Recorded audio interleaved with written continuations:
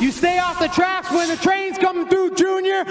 A serious banger of a featherweight fight here, Meat, and they finally stuck Nate the Train Landwehr on a meet if meet card. You gotta love the main card spot for the train, and uh, we'll see if Dan Ige hops off the tracks or not. But Dan Ige looked pretty solid most recently. Got a performance of the night finish over Damon the Leech Jackson, and Leech was on a nice little win streak, and Dan Ige made light work of the Leech, and it looked like Dan Ige just took out years of frustration. He was on that L streak, right? He had lost three straight, all to top 10 guys, though, right? Korean Zombie, Josh Emmett, and Movsar Evloev, and they were all decision losses. Fights that all sort of looked similar to just Dan Ige really getting controlled and not being able to get off his striking as he did against Gavin Tucker, as he did against other guys historically in the UFC. And I was just super stoked for Dan Ige to get that finish over the Leech because his career seemingly was going one of two ways, and it really seems like he took it in the right direction. And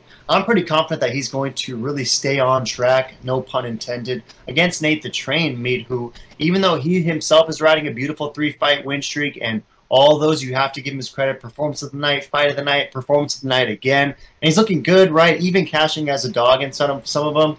He's 35 meat, and those losses to our boy Juicy J, no disrespect to Julian Erosa, and then he got finished by Herbert Burns, and that was his debut. It was just he just didn't show up that night. And if Herbert Burns and Landwehr fought again, you got to believe that Nate the Train would absolutely steamroll him. But nonetheless, it's a bad L, and I think Ige is going to be way too much for our boy Nate the Train in this one. So, what are your thoughts, me? Are you going to uh, give me a speech that convinces me otherwise, or do you too, even though you love Landwehr, think Ige is going to make light work?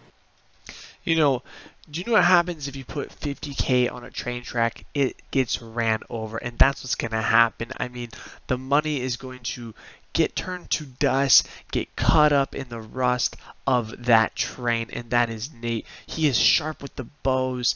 He, you know, likes the women, and uh, he is a savage when it comes to the mat, on the feet, and I think he's actually going to get a finish, and I think it's going to be a submission and a big upset. Very excited. I'm very excited to cash this one, and maybe I'm a crazy in this, but Nate's a G, and he's going to get it done.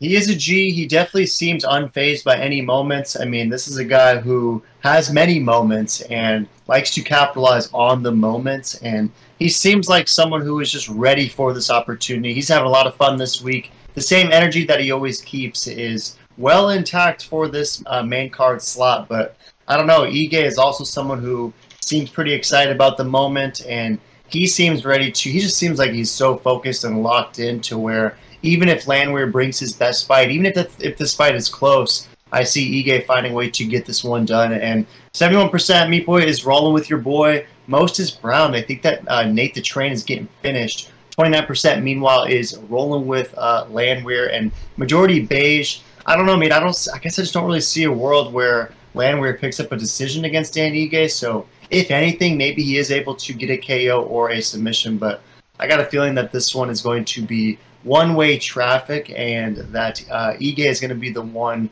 uh, as the conductor of this one, or like you said, Nate Landwehr cut up in the dust and caught up in the rust. So, any last thoughts? I got Ige by luck. Yeah, no, this is a great fight. Big levels test for uh, Nate the Train, and I, hopefully he gets it done. But, you know, I like Ige, so uh, it won't hurt my feelings if Dan Ige knocks him out like he did to The Leech. So throw in the comments who you taking, The Train or 50k Dan Ige.